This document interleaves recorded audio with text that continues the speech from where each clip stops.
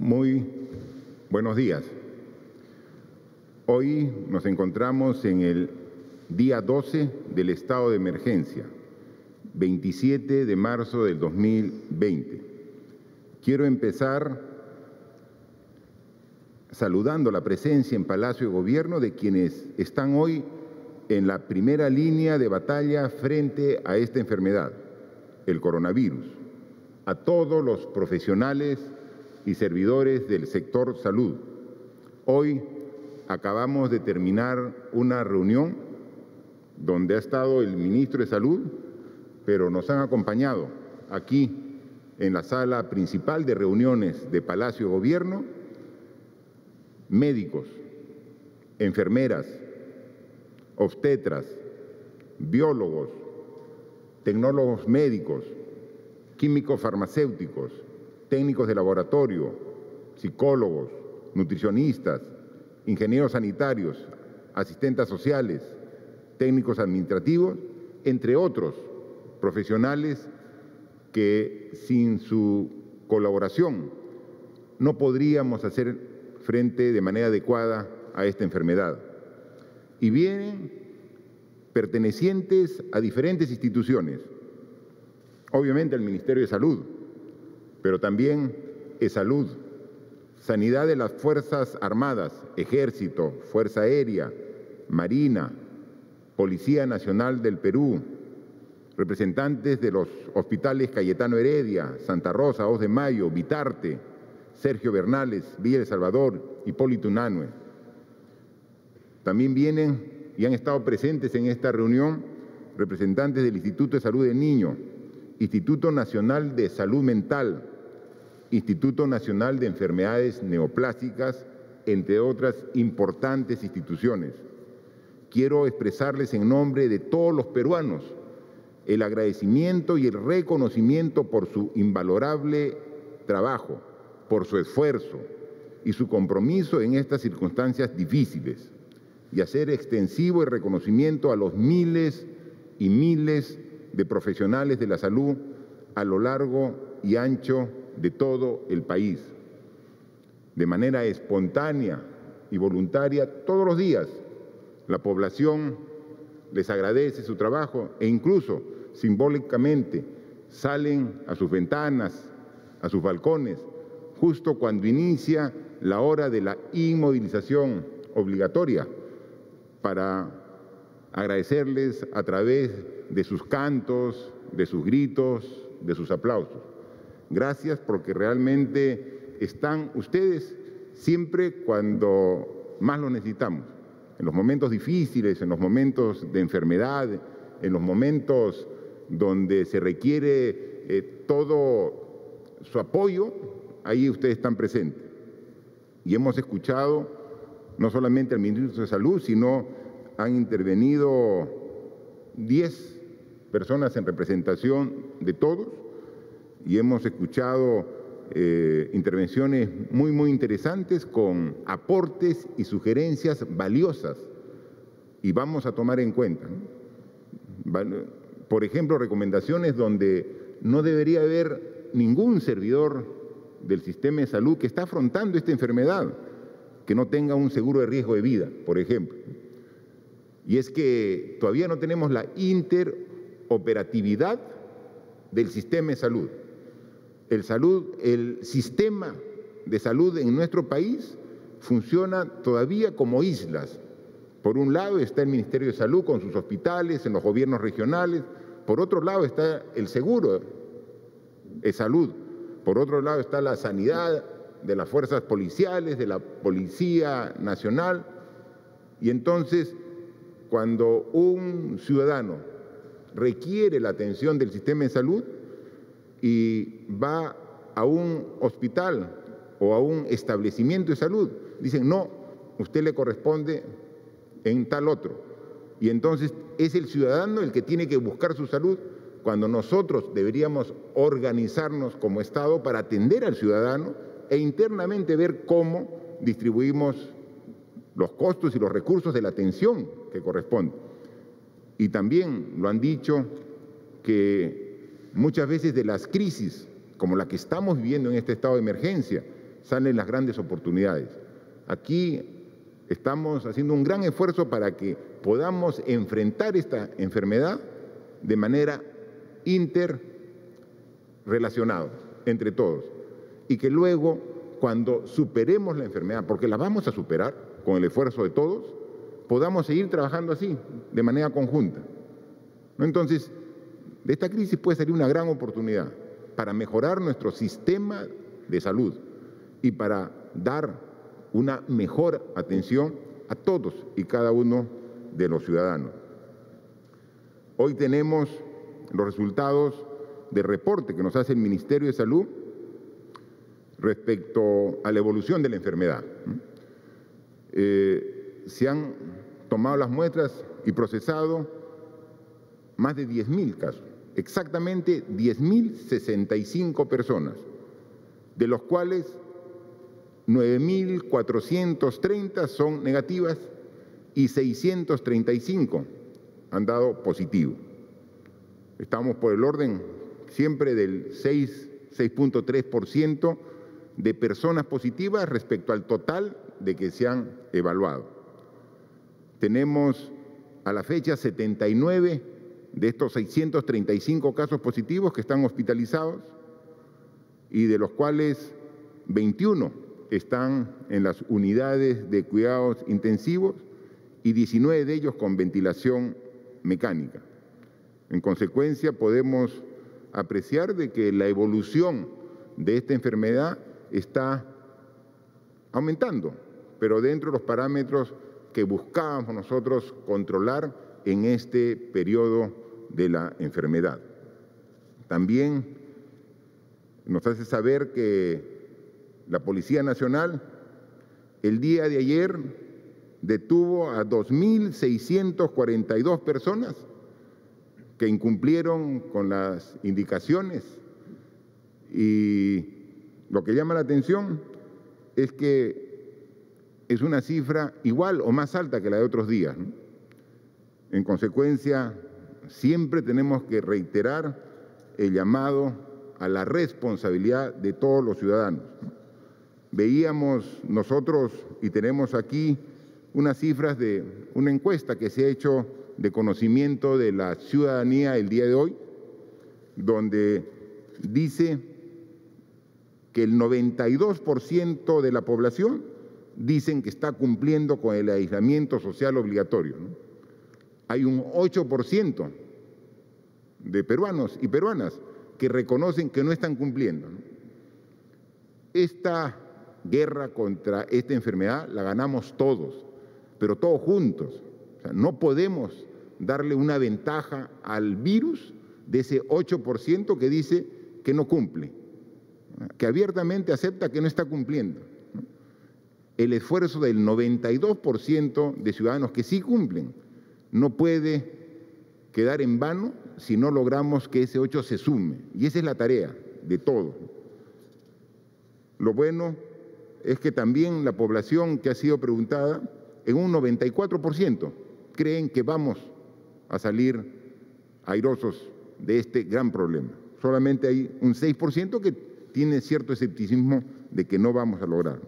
Pero para eso tenemos que seguir trabajando como requerimos aquí todo el personal de salud que pone todo su esfuerzo, pero si sigue habiendo gente irresponsable que no cumple, cada vez van a ir más personas a requerir los servicios en los hospitales y pueden llegar a saturarlos hasta donde ya no podamos atenderlos. Y eso es lo que queremos evitar con estas medidas, porque las medidas que estamos tomando van en dos sentidos. Primero, para evitar que la curva de contagio se dispare. Eso es fundamental y lo estamos logrando. Siguen habiendo pero dentro de la evolución esperada. Y el otro objetivo es articular entre todos para tener una mejor preparación para atender los casos de contagio, los pacientes que han dado positivo y que requieran hospitalización. Seguimos trabajando en ello y vamos a reforzar todas las medidas que estamos haciendo. Quisiera también comentarles que el día de ayer, como lo anunciamos, presentamos un pedido de facultades legislativos al Congreso de la República. Y en horas de la noche recibimos la información que estas facultades habían sido otorgadas por el Congreso, cosa que le agradecemos, lo que muestra también la voluntad del Poder Legislativo, este poder del Estado, de contribuir para el logro de los objetivos. Todos tenemos que sumarnos para lograr la meta que nos hemos propuesto. Nos han dado facultades, pero queremos hacer mención que pedimos facultades en 11 aspectos. Es decir, dividimos 11 criterios en los cuales pedíamos facultades al Congreso de la República. Y nos han dado solo de 10. Hay un aspecto que para nosotros es sumamente relevante, que el Congreso ha retirado del pedido de facultades. Nos referimos a las facultades para que sea, para que le podamos generar el marco legal, o sea, el sistema le genere el marco legal para que la Contraloría General de la República pueda hacer control concurrente. Ese punto que es de suma importancia lo han retirado. Nosotros tenemos que ser proactivos ¿no? y pensar siempre en positivo y seguir para adelante. Entonces, hoy inmediatamente hemos articulado en el Consejo de Ministros y hemos preparado el proyecto de ley. ¿Qué es lo que queríamos? Nosotros no queremos que la Contraloría intervenga a nuestro criterio. Lo único que queremos como Ejecutivo es que haya el marco legal para que la Contraloría pueda controlarnos. A nosotros mismos, como también a todas las instituciones que van a hacer uso de dinero, de recurso público, para atender lo, lo que requerimos en este momento de emergencia. Y miren, lo que planteamos en una ley es sumamente simple y clara, que es lo que queríamos, pero con la agilidad que nos puede dar la delegación de facultades. Es una ley de dos artículos y una disposición complementaria. Artículo 1.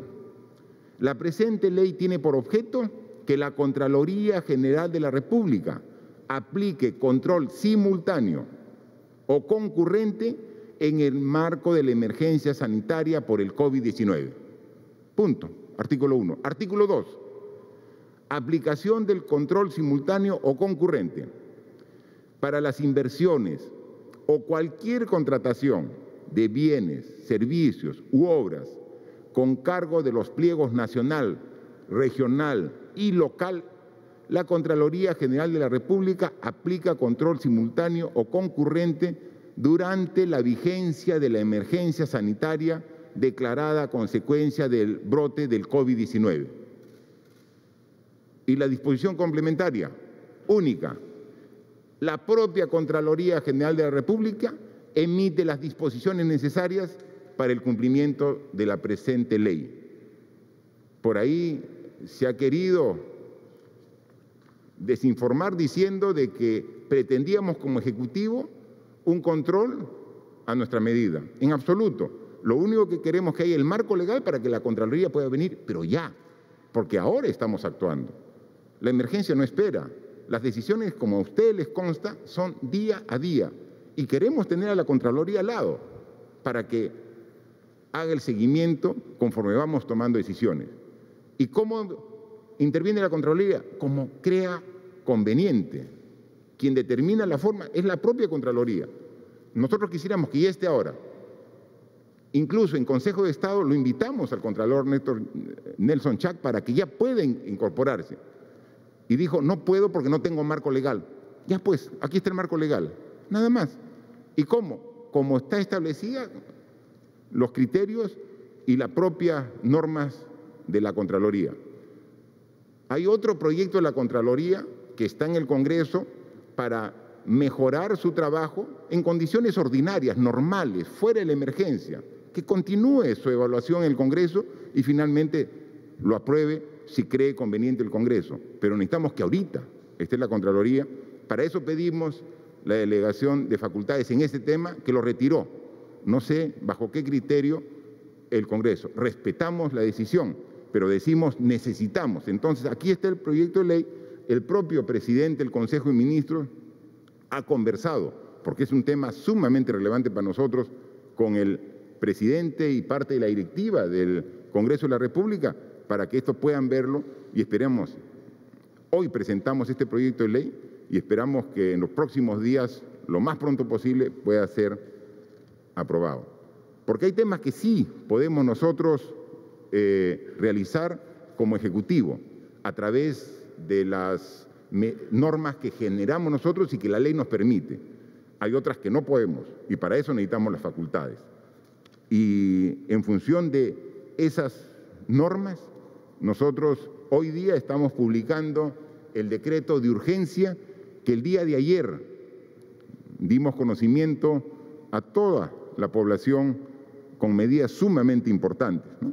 Tenemos eh, a respecto eh, que vamos adicionalmente de los 380 soles que ya estamos canalizando y que en un gran porcentaje ya hemos distribuido a 2.700.000 familias en todo el, el Perú, también en este decreto de urgencia que hoy publicamos, estamos aumentando a 800 mil familias adicionales que son de trabajadores independientes o informales, que también necesitan esos 380 soles.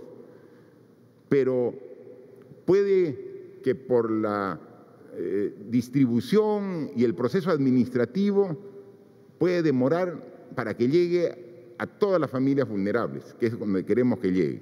Entonces queremos también usar, aparte del otro nivel de gobierno, de los municipios, para poder llegar a estas familias vulnerables que están a lo largo y ancho de todo nuestro país, que es muy extenso.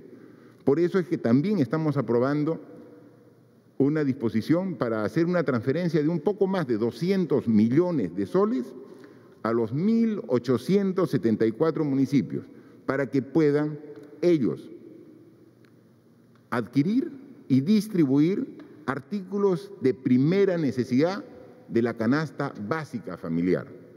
Y entonces, ellos, los municipios, van a llegar, como son las instituciones que están más cercanas a la población. Nosotros en el Gobierno Nacional estamos organizados a través de 18 ministerios tenemos alcance nacional, pero son 18 ministerios. El gobierno local, los municipios, están organizados en 1.874 municipios y están más cercanos a la población. Es la institución del gobierno que está más cercano. Estamos formalizando a través de este decreto de urgencia la autorización de la transferencia para que ellos puedan llegar también y de manera complementaria llegan a los hogares vulnerables con una canasta básica de alimentos para que puedan eh, cumplir estas familias el estado de emergencia, que ahora, como ya todos sabemos, se cumple hasta el día 12 de abril próximo. Entonces, pero también queremos que lo hagan con total transparencia y honestidad los municipios, tanto la compra de los alimentos como la entrega que corresponde. ¿Y quién puede hacer la verificación de ese control?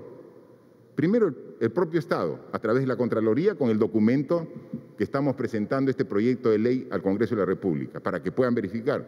Y dos, ¿quién hace la fiscalización? La propia ciudadanía, porque en el documento estamos también indicando que los municipios, una vez que entreguen, tendrán que elaborar un padrón diciendo a quienes entregaron estos alimentos. Es decir, hay una canasta que se va a entregar a las familias vulnerables, a las que realmente lo necesitan, pero tiene que haber un padrón. Hay municipios muy pequeñitos que seguramente es más fácil organizarse. Hay municipios pequeños, hay municipios medianos y hay municipios grandes y hay otros muy, muy grandes. Para cada tipo de municipio deberá haber una organización ad hoc adecuada para poder hacer esta transferencia y poder hacer la adquisición y entonces por eso es que no es un solo monto por municipio. Hay municipios que tienen en su jurisdicción 500, 600 personas y hay municipios que tienen más de un millón de personas. obviamente no puede ser la misma cantidad. Se ha determinado a través del Ministerio de Economía y Finanzas rangos de municipio para dar la transferencia. Eso está claramente establecida para que podamos administrar los recursos de la manera adecuada y todos tengan proporcionalmente similares cantidades para atender a la eh, población bajo su jurisdicción. En consecuencia, ¿es importante eso? Sí, porque los municipios que querían también ayudar, que son la gran mayoría, también van a tener la oportunidad de participar en este proceso de apoyo a las familias vulnerables en esta emergencia, en este aislamiento que estamos pidiendo a toda la población. Para ello, también es necesario el control concurrente y para ello también eh, se va a hacer las transferencias correspondientes por parte del Ministerio de Economía y Finanzas.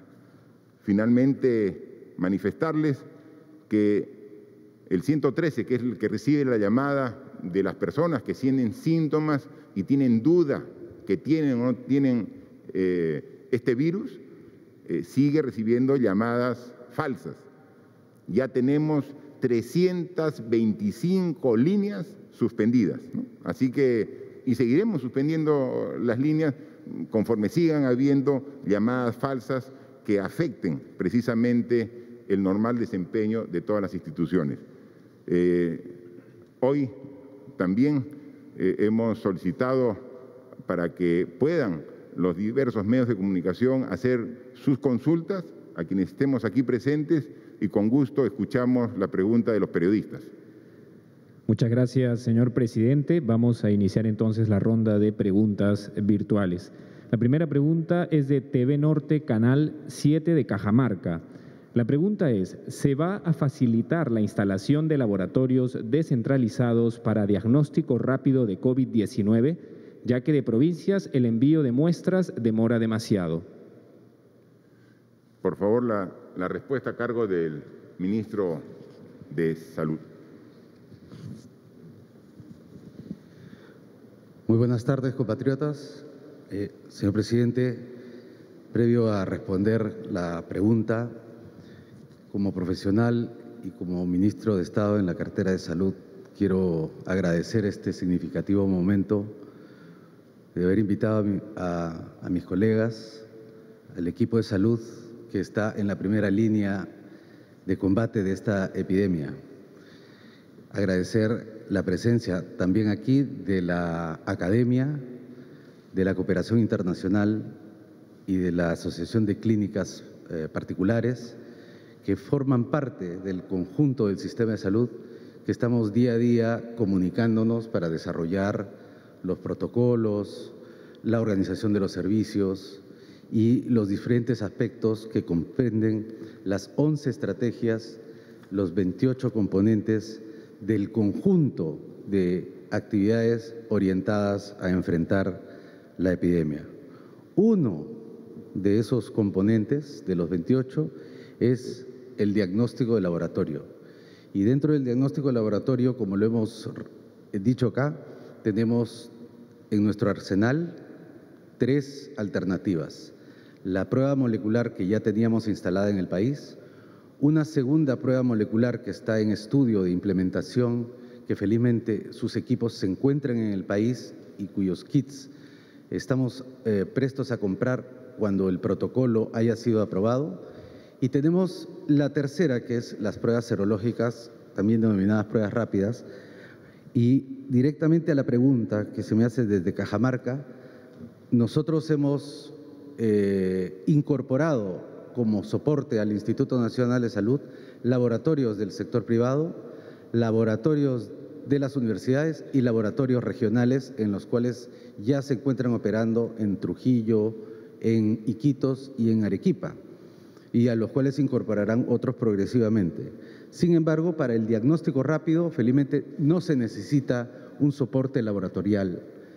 Es una prueba de fácil uso, directamente de uso de los profesionales y para ello no se va a necesitar descentralizar laboratorios para la prueba rápida. Gracias, ministro. La siguiente pregunta es de ATV. La pregunta dice, Perú compró las pruebas rápidas a la misma empresa que España. ¿Nos puede precisar a qué empresa se le compró? Además, el primer lote de pruebas debería llegar hoy, ya están en Lima. ¿Cuándo estarán listas para que sean utilizadas? Eh, señor presidente, eh, nosotros podemos afirmar categóricamente que las pruebas rápidas compradas por el Perú no corresponden a las mismas empresas proveedoras de España. Segundo, podemos afirmar, y he sido informado al respecto, con doble, hemos ido a revisar los registros, que los proveedores, que los productos que nos han sido vendidos al Perú cuentan con las certificaciones de calidad que nuestro país exige. En tercer lugar, estos, la compra que hemos hecho de 1.400.000 pruebas rápidas ya está en proceso de ingreso al país. En cuarto lugar, esta prueba no va a ser implementada inmediatamente ya que se necesita una prueba de campo. Nosotros eh, durante la próxima semana, como es una nueva tecnología que se va a usar en el Perú, vamos a, conjuntamente con el Instituto Nacional de Salud, vamos a probar en, eh, el país su, eh, el grado de su utilidad para doblemente contrastar lo que ya está probado internacionalmente, que, eh, que es una prueba eficaz. Y es parte del protocolo de cualquier producto que ingresa al país por, por primera vez. Y finalmente, en relación con los grupos poblacionales, eh, nosotros tenemos nuestro grupo de expertos que ha discutido el protocolo, que ya está pronto a terminarse, y se han identificado grupos especiales de riesgo. Por ejemplo, los trabajadores y las trabajadoras de salud que se encuentran aquí presentes es uno de los grupos en los cuales se va a implementar la prueba rápida debido a su altísimo grado de exposición al, al virus. Muchas gracias. La siguiente pregunta es de Radio Los Ángeles de Pasco. La pregunta es, ¿cómo se monitorea con la ampliación del Estado aquellas empresas que no despidan al personal?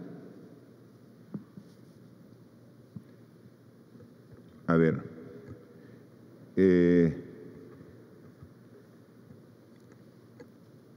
Radio los, los, Andes, ¿no? ¿Cómo se monitorea? Los Andes de Pasco, señor presidente.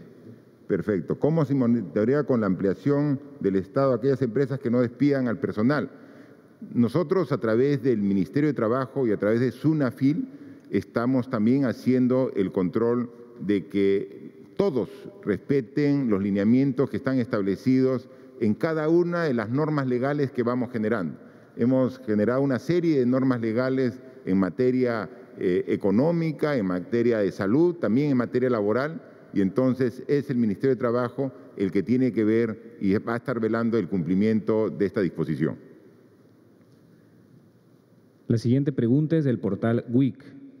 Diversos economistas han establecido la necesidad que se adopten medidas integrales desde el Ejecutivo para que no se rompa la cadena de pago y se salve a las empresas.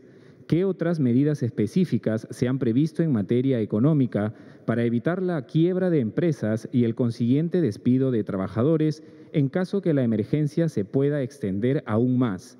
¿En qué consistiría en todo caso la reactivación post-emergencia? Como ya también lo hemos eh, dicho en varias oportunidades, eh, nosotros trabajamos en dos etapas y algunas de manera simultánea. Una es la etapa de la contención de la epidemia, y en la cual aquí tenemos la primera línea de contención de la epidemia. Pero también sabemos que ya la epidemia no solamente ha generado una emergencia en el sector salud, la epidemia ha generado una emergencia en todo el sector social, pero también en todo el sector económico, financiero. Entonces estamos tomando acción en cada uno de esos sectores que están en emergencia producto de esta enfermedad, de esta pandemia mundial. A respecto sobre cómo vamos a garantizar la liquidez y cómo a través de esta liquidez vamos a impedir que se rompa la cadena de pagos, que es fundamental preservar, yo quisiera dejar a la ministra de Economía que nos cuenten el tipo de acciones y reuniones que vamos teniendo para conseguirlo.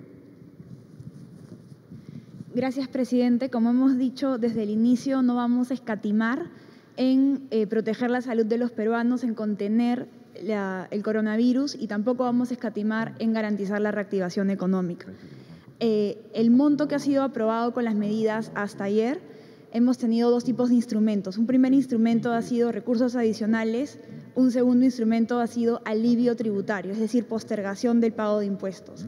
Hasta el momento, el monto que hemos autorizado con estos instrumentos es de 8.140 millones de soles, que se suma a un tercer instrumento que es la, disposición de ahorros de las personas. Ayer hemos autorizado con algunos parámetros la liberación de la CTS, la suspensión de la AFP, lo que suman aproximadamente 5.500 millones adicionales a la economía. Estamos hablando de que en menos de 15 días se ha inyectado y se han autorizado dos puntos del PBI en menos de 15 días. Estamos trabajando rápidamente para reaccionar también con la contención económica.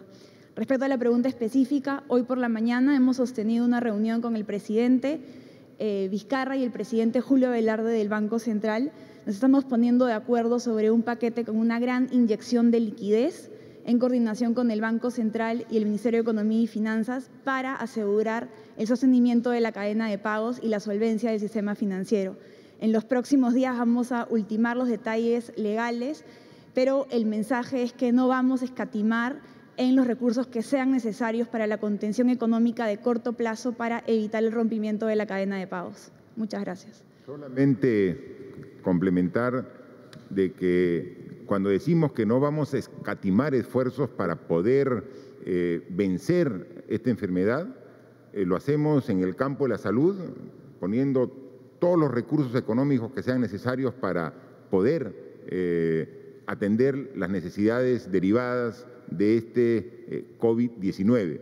Pero esto genera también un problema porque prácticamente una parte importante de todo el aparato productivo del Perú se ha tenido que paralizar para evitar el contagio del virus. Y entonces esto podría generar unos problemas inmediatamente comencemos a restablecer gradualmente la normalidad, eh, muy serio si es que no tomamos medidas económicas específicas. Lo tenemos absolutamente claro. Yo quiero, así como le pedimos confianza a la población de que estamos haciendo todo el esfuerzo para combatir de manera adecuada esta enfermedad, también le pedimos confianza a las empresas que son el soporte económico del país, que estamos viendo cómo vamos a garantizar la liquidez necesaria para que puedan seguir desenvolviéndose y se pueda evitar el rompimiento de la cadena de pagos. Porque detrás de las empresas están los trabajadores del país que requieren seguir cumpliendo su actividad laboral. Entonces, tenemos que garantizar esa tranquilidad y confianza de todos en que juntos, con esfuerzos grandes que hacemos nosotros desde el gobierno vamos a salir adelante. Pero también decirles que requeríamos el compromiso de las empresas de diversos aspectos y hemos visto, por ejemplo, hoy una noticia que la estábamos esperando ya hace algunos días, de que dos importantes bancos de aquí nacionales han tomado la decisión de congelar el pago de créditos, pero sin intereses, porque si estamos en emergencia, todos tenemos que colaborar. Esta medida la estábamos esperando ya hace algunos días. Qué bien que ya dos hayan anunciado y seguramente la banca en su conjunto tomará decisiones similares en beneficio de toda la población. Siguiente pregunta del diario Correo. Sobre el tema de las pruebas rápidas, ¿es cierto que el Perú rechazó una donación de 500 mil de estas pruebas de China? Y si es así, ¿cuáles fueron las razones? Además, ¿cuál es la empresa a la que se le ha comprado y si ésta está avalada por el gobierno de ese país? Por último, si el primer lote ya llegó, ¿de cuánto consta y en qué momento se empezarán a usar? Eh, nuevamente, por favor, ministro. Sí, eh, voy a utilizar esta oportunidad para hacer una reflexión en el sentido siguiente, señor presidente, si me permite. Nuestro sistema de salud está enormemente tenso, puesto al máximo de sus capacidades para defendernos frente a esta epidemia. Y quiero combinar nuevamente a la prensa para que podamos tener un diálogo quizás en otro nivel, porque estas noticias pueden generar confusión y en un, en un entorno ya bastante, con bastante incertidumbre. Esta afirmación que el Perú haya rechazado una donación de 500.000 pruebas rápidas a China es falsa. En ningún momento el gobierno del Perú ha rechazado ninguna donación. Es más, nosotros hemos instalado un mecanismo para que podamos recibir las donaciones de manera ordenada y que puedan llegar a apoyar a todos aquellas y aquellos que nos están cuidando. El día de hoy hemos recibido la donación de Confiep de monitores a la a Salud. Confiep también nos ha anunciado la compra de un importante lote de equipos de soporte ventilatorio. Hemos recibido donaciones de la empresa privada en agua, alimentos, equipo de protección personal. No es cierto, señor presidente, compatriotas, esta noticia. Sobre el uso de las pruebas rápidas, ya nuestra comunidad científica se ha pronunciado acerca de su adecuado uso. Tenemos un protocolo y lo vamos a, a implementar de acuerdo a lo que yo he explicado anteriormente. Muchas gracias. Para culminar esta ronda, la siguiente pregunta es de la Asociación de Prensa Extranjera en el Perú. La pregunta dice, Presidente Vizcarra, hemos visto por televisión que el ejército y la policía han salido a repartir alimentos en zonas pobres, propiciando la aglomeración de personas sin mascarillas. ¿Van a continuar esas acciones? ¿Qué opción hay para las personas que no van a recibir el bono de 380 soles, incluidos los indigentes, mendigos o los que no tienen actualizado su DNI? ¿Se van a usar las reservas del Banco Central para la emergencia? ¿Sabemos cuántos peruanos aún están fuera del país y quieren regresar? Sobre los extranjeros, ¿hay información de turistas japoneses que no pueden salir? Presidente, ¿cuántos equipos de ventilación mecánica hay en todo el Perú? ¿Se ha ordenado compras de estos equipos? Finalmente, ¿se va a considerar otorgar libertad a los presos? Eh, gracias. La, pareciera que la prensa extranjera ha hecho participar a todos sus miembros en esta múltiple pregunta, pero que como hemos dicho, estamos con la mejor disposición de informar y en consecuencia dar respuesta a, cada, eh, a todas y cada uno de sus interrogantes. El ejército, el rol que tiene ahora junto con la Policía Nacional es de resguardar el orden público y de garantizar el cumplimiento del estado de emergencia con los periodos dentro del día de la restricción de movilidad y adicionalmente a la inmovilidad obligatoria que estamos obligados todos los peruanos desde las 8 de la noche hasta las 5 de la mañana. También el ejército siempre ha apoyado cuando se ha requerido en situaciones especiales eh, con ayuda humanitaria. Sin embargo, lo que estamos definiendo nosotros como gobierno es que el apoyo a las familias vulnerables van a ir canalizadas primero a través del MIDIS que ya está haciendo la transferencia económica de 380 soles para cada una de las 2.700.000 familias entre pobres y pobres extremos.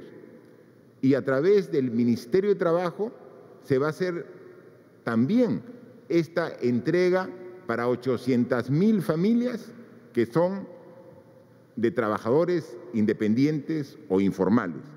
Entonces tenemos 3 millones y medio de familias que van a ser atendidas. Si vemos cuántas personas hay en promedio por familia, estamos hablando que esta cantidad está entre 10 a 12 millones de peruanos que están siendo atendidos. Entonces estamos cubriendo un porcentaje importante de la población que requiere este apoyo económico. Pero somos conscientes también que pueden existir algunas personas en situación de vulnerabilidad que no estén incluidas dentro de ellos específicamente, que no estén en el padrón. precisamente por alguna deficiencia del padrón que ha sido elaborado con el censo de hace cinco o seis años y que año a año está actualizado por información de los propios municipios. Entonces, para eso le estamos dando una transferencia de más de 200 millones a los municipios para que ellos, con la organización que tienen, puedan llegar y complementar este esfuerzo que hacemos nosotros como Poder Ejecutivo con el Ministerio de Desarrollo e Inclusión Social y el Ministerio de Trabajo. Entonces así llegamos. Entonces el ejército lo que va a continuar no es repartiendo víveres, sino es controlando el orden público y el cumplimiento del estado de emergencia, que es sumamente importante. Ahora, una información que puede sobreentenderse, pero nosotros no queremos que nada se sobreentienda. Tenemos que ser precisos. Esta asignación, este apoyo económico a las familias de 380 soles, fue calculado para los primeros 15 días, porque lo hemos elaborado en función del cálculo de cuánto es la canasta básica familiar mensual. Y entonces hemos visto la proporción para los primeros 15 días. Pero ahora hemos extendido la emergencia por 13 días más. O sea, ya tenemos casi el mes completo, 28 días. En consecuencia, ya estamos disponiendo que el Ministerio de Economía inmediatamente se concluya la primera transferencia de estos 380 soles, empiece con otra segunda transferencia, porque ya tenemos que dar un apoyo a las familias por el mes completo, ya no por 15 días. Entonces ya nos van a hacer 380 soles, que era por los 15 días, sino va a tener una transferencia adicional para cubrir este segundo periodo. Estamos pensando que si le pedimos el esfuerzo a todos los peruanos de que cumplan ya no solo 15 días, sino ahora 28 días, tenemos que meter la mano al bolsillo de las cuentas del Tesoro Público para que en estos momentos difíciles que atraviesa el Perú podamos atender las necesidades de las familias vulnerables. En consecuencia, habrá, y eso será motivo de una norma adicional y un procedimiento de transferencia económica también para todos y seguramente ahí también, si ha habido alguna deficiencia o demora, que lo reconocemos. O sea, esto ha sido de un momento imprevisto, este estado de emergencia, esta situación de esta pandemia mundial, y entonces hay que ir mejorando y corrigiendo. Y por ahí he visto algunas críticas sobre, ¿y por qué los municipios? Yo diría, ¿y por qué no? Los municipios son parte la, del Estado peruano. Los municipios son parte de los tres niveles de gobierno y, están, y son más de 1.800 municipios que pueden ayudar. Lo único que pedimos, y ahí sí somos muy, muy claros, transparencia y honestidad en el manejo de estas transferencias, porque en un estado de emergencia como el que estamos, tenemos todos que esforzarnos en ser mucho más transparentes y manejar los recursos del Estado, que son los recursos de todo y que estamos sacando en estos momentos de emergencia, para que sean bien usados y que lleguen a través de alimentos en una canasta básica de primera necesidad realmente a las familias que lo necesitan. Sobre la pregunta referida, ¿cómo van a atender a indigentes, mendigos, personas con discapacidad? Los municipios tienen en su relación eh, esta evaluación y estos padrones, entonces van a poder llegar también directamente. Y estamos recomendando en la norma que en la medida de lo posible se cumplan las características de este estado de emergencia, que como lo han dicho los expertos hoy día aquí, se cumple el aislamiento social, esta distancia social para evitar el contagio. Entonces, tienen que haber la propia estrategia, tiene que establecerle el municipio y hay que priorizar esta entrega de, víveres a domicilio para evitar concentración de gente para entregarlo. Eso ya lo harán y nosotros confiamos en la capacidad de organización que tienen cada uno de los municipios en función de cada de su propia realidad. Eh, volví a preguntar sobre el tema de las reservas del Banco Central para la emergencia. Yo le pido nuevamente a la ministra de Economía que nos responda, ¿se van a usar las reservas del Banco Central del Perú para la emergencia y, cómo y de qué forma? Hay veces es necesario ser bien explícitos en ello. Gracias, presidente. Las décadas de disciplina fiscal que ha seguido el país nos ha preparado para momentos como esto. No solamente por nuestra solidez fiscal podemos acceder a, a interés, a mejores condiciones, sino también que tenemos activos, en otras palabras, ahorros. Lo que nosotros estamos diseñando desde el Ministerio de Economía y Finanza es una estrategia gradual de combinación. Primero, el primer frente es reasignaciones presupuestales. Lo que, los planes que hemos eh, anunciado de contención y de reactivación van a, van a requerir más recursos. Entonces, la primera línea, y es lo que hemos hecho con los decretos de urgencia que hemos venido sacando, hemos venido trabajando con reasignaciones presupuestarias. La segunda línea va a ser activos, y dentro de los activos se encuentra el Fondo de Estabilización fiscal, que tiene un directorio donde eh, yo me encuentro en el directorio, también el presidente del Banco Central. hay una tercera línea que es endeudamiento. Debido a nuestra solidez fiscal, también tenemos mejores condiciones de endeudamiento en, el mercado de capitales y además tenemos líneas contingentes con las multilaterales. Estamos en estos días eh, trabajando cuál es el mejor diseño de la combinación de estos instrumentos, pero lo más importante es que nuestros ahorros y nuestros activos nos permiten enfrentar esta crisis. Muchas gracias. Hay una pregunta también de la Asociación de Prensa Extranjera respecto a los ventiladores mecánicos con los que contamos para enfrentar, por favor, ministro. Y si se están comprando más, dice, ¿no? Claro. Eh, señor presidente, compatriotas, eh, la identificación de las camas de unidad de cuidados intensivos eh, es un proceso constante porque no es solo la cama. La cama tiene que operar y para poder esa cama operar necesita recursos humanos, intensivistas, porque se tiene que cumplir varias guardias, enfermeras calificadas o enfermeros calificados para cubrir esas guardias, eh, técnicos de enfermería que además trabajan alrededor del cuidado del paciente. Entonces, para que tengamos una cama funcionando, se necesita el equipo, la infraestructura, sus recursos humanos y los materiales con los cuales trabaja. Hoy podemos decir que esas características en el país las cumplen 852 camas UCI país. Ese es el arsenal completo que tenemos en el Perú para atender eh, COVID y para atender las otras patologías que necesitan eh, utilizar este tipo de tecnología. Las que hemos destinado la Seguridad Social, el Ministerio de Salud, las Fuerzas Armadas y eventualmente las clínicas privadas para la atención de COVID-19 son 276. Quiero además decir, a propósito de las camas UCI, justamente este tipo de personal que trabaja en estas eh, unidades es la que está en mayor riesgo. Nosotros hemos establecido una relación muy estrecha con los colegios profesionales y con los grupos de expertos de distintas áreas para, por ejemplo, señor presidente, cuando lleguen las pruebas rápidas, tengamos ya un protocolo de uso aprobado, no solamente por el Ministerio de Salud, por las distintas instituciones y además con la participación de los colegios profesionales. Muchas gracias. Gracias, ministro.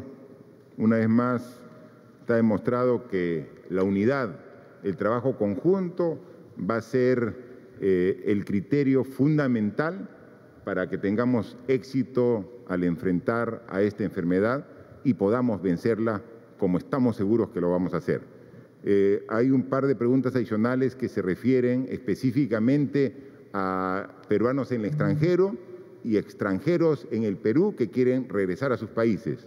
Ya lo ha explicado el ministro de Relaciones Exteriores, que estamos de manera gradual y progresiva avanzando en esos pedidos, pero tenemos que hacer con sumo cuidado porque no queremos que todo el esfuerzo que hacemos para controlar el contagio del virus al interior se pierda por ingreso de personas que vienen de lugares con niveles de contagio mayor y vienen a transmitir el virus aquí.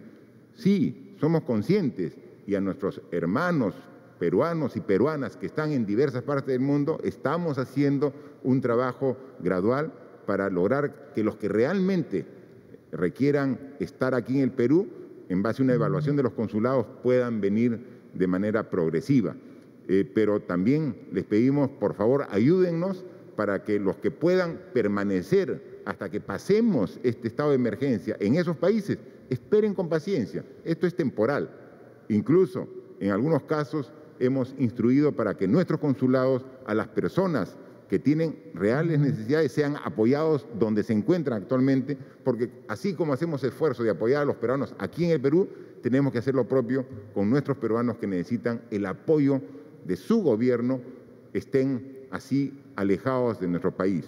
Eh, en consecuencia, seguimos trabajando en todo ello.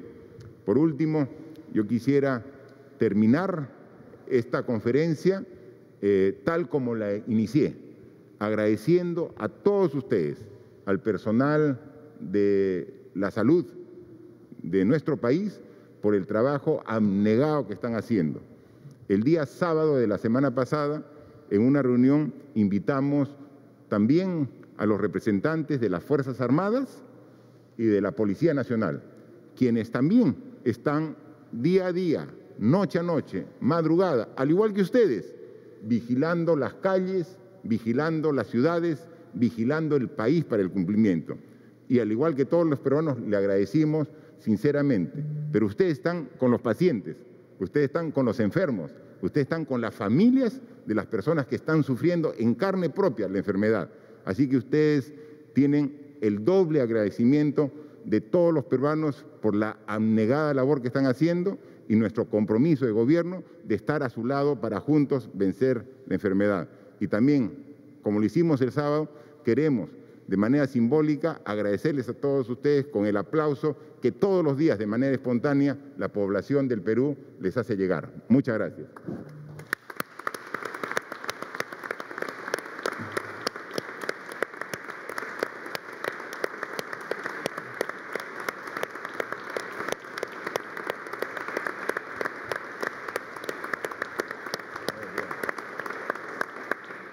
Gobierno del Perú. El Perú primero.